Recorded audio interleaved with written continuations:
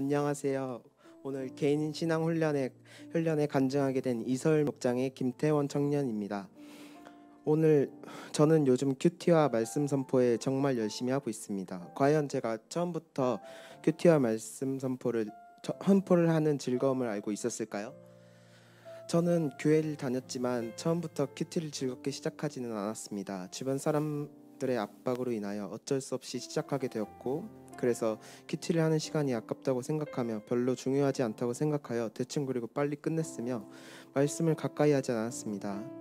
또한 목사님의 설교 말씀을 집중해서 듣지 않았, 않아 설교 시간마다 하는 딴짓을 했고 교회도 정말 가기 싫었기에 교회는 목자나 부모님 손에 강제로 끌려오는 곳이었습니다. 심지어는 하나님도 실제로 계시나 의심하면서까지 살아왔습니다.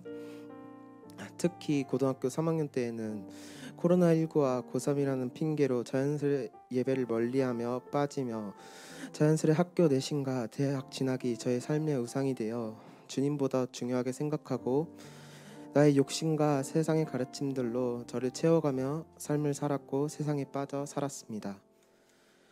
당연히 하나님은 이런 저의 모습을 기뻐하시지 않으셨고 죽게 다시 돌아가야 하는 환경을 만드셨습니다. 하지만 순종하지 아니하고 주님의 마음을 알지 못한 채 불평불만을 늘어놓았습니다.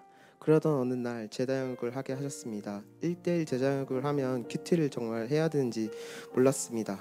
그렇게 그렇게 저는 큐티를 제대로 다시 하게 되었고 점차 예배 회복이 일어났습니다. 주일 예배뿐만 아니라 수요, 금요 예배 놀라지 마세요. 여기서 끝이 아니라 새벽 예배까지 도, 도전하게 하셨습니다. 걸어서 30분 정도의 거리, 거리를 걸어서 새벽에 오고 버스를 타고 집에 가며 예배하고 있습니다. 억지로 하던 큐티가 안- 큐티가 나에게 매일 말씀하시는 하나님의 음성으로 기대하며 말씀을 깊게 묵상할 수 있도록 주님이 인도하여 주셨습니다.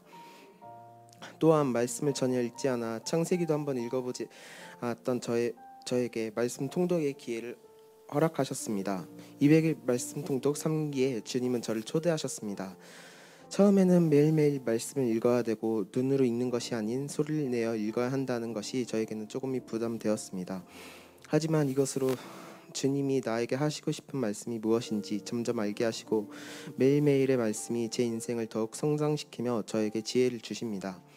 소리를 내어 내어 읽어서 더욱 말씀에 집중할 수 있고 있었고 혼자 하는 것이 아닌 함께 하는 함께 같이 하기에 중간에 포기하지 않고 하고 있습니다. 이전에는 하나님의 사랑을 알지 못했지만 이 말씀 통독 가운데 크신 사랑을 알게 하시고 말씀으로 동행하는 인생이 되게 하셨습니다. 하나님께 인도함 받는 주님과 동행하는 삶에 주양의 모든 분들을 초대하고 싶습니다. 감사합니다.